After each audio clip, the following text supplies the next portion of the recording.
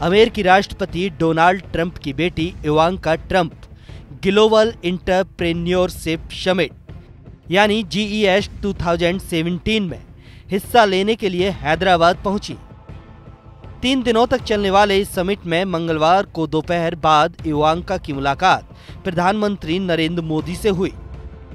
उसके बाद उन्होंने विदेश मंत्री सुषमा स्वराज से भी मुलाकात की। रंगारंग कार्यक्रम से समिट की शुरुआत हुई। उसके बाद पीएम मोदी और इवांका ने साथ साथ समिट का उद्घाटन किया। समारोह के उद्घाटन के बाद इवांका ने भारत के लोगों को सत्तरवें स्वतंत्रता दिवस की बधाई दी और कहा कि प्राचीन शहर में प्रौद्योगिकी का इतना वृहत रूप देखना आश्चर्य से भरा है। इवांका ने कहा कि मैं पहली बार इतनी बड़ी संख्या में महिला एंटरप्रेन्योर की भागीदारी देखकर गर्व महसूस कर रही हूँ। न्यूज़ इंडिया के लिए वेब डेस्क की रिपोर्ट।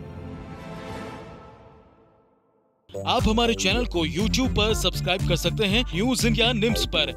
इसके अलावा आप ट्विटर पर भी हमें न्यूज़ इंडिया 17 पर फॉलो कर सकते हैं। फेसबुक पर आप न्यूज़ इंडिया डॉट निम्स यूनाई पर हमें लाइक कर सकते हैं।